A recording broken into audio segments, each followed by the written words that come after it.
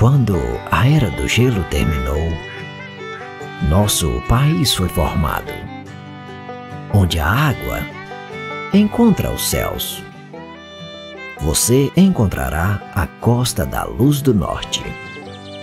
Bem-vindo à Finlândia.